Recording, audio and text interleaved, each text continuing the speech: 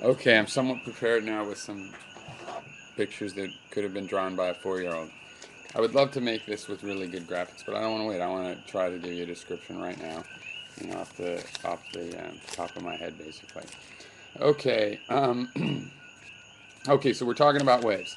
Now, in general, if you, you know, for a wave, imagine that you have a little stick in the water and you wiggle it or you drop a stone or something, then you have a point source and ripples going out. Now here, this is the widest ripple, you know, and it's of course going out, right?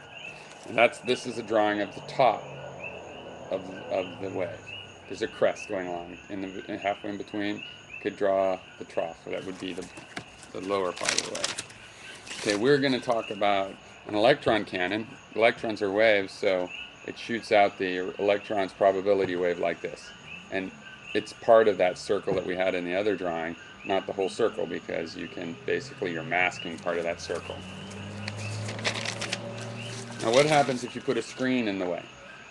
There's two gaps you can barely see there and there. There's two gaps. What's going to happen if you do something like that with a wave? Well, according to how waves work, they will disperse a little. You know, it doesn't go through and make a perfect column. It makes, you know, a cone going out, so it'll be something like this. You know, the waves go up to the screen and these act like little point sources. They're a lot like the original source. They're little point sources. And the waves start to overlap at some distance from the screen. If you go far enough away, zoom in on where they're overlapping, you'll have something like this. Now what happens if I insert a screen? A detector screen. Okay, no gaps in this screen, but an actual screen. Okay, I'll show you where I'm going to put it. And this detector detects the height of the wave at that point in space. This line is the detector.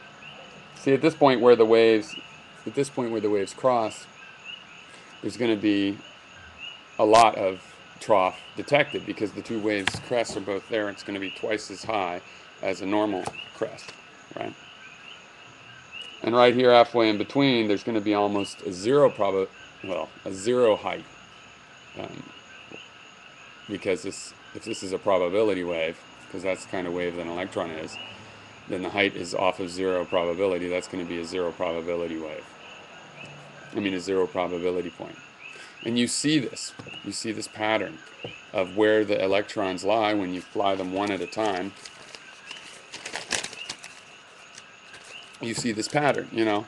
If you only had if you only had the wave going through one slit, then you wouldn't have that pattern because the lines would never crisscross. Because if the things are going through one at a time, how do they add up to that? They must be going through both. So that's fine, but how can you have a wave that's focused like that? In quantum mechanics, it looks like the wave really is, is this original wave. You know, when you have, have an electromagnetic pulse, off of, if this is looking straight down on top of a radio tower, if you have an electromagnetic pulse that you send out of that tower, it goes out in all directions, right? Well, actually, if you slow it down to low enough power and it sends one photon at a time, it, each photon just, you know, shoots zing in this way. And, you know, then one goes that way, and then one goes that way. If you put enough power in, they're all shooting out more or less at once by our scale. But really, in the scale where they're shooting out one at a time, it's random directions the probability overall, they spread everything. But in quantum mechanics, it looks like each photon goes in every direction, but in separate universes.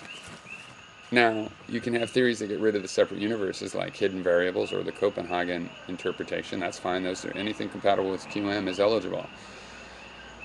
But with hidden variables, you still violate non-locality. You violate um, the, the idea that things that something you do here can instantaneously affect something over here. In the multiverse or many histories interpretation, you more or less preserve that because everything's happening in its own local universe. Okay, and we're all sharing space, so things actually can interfere with each other a little bit.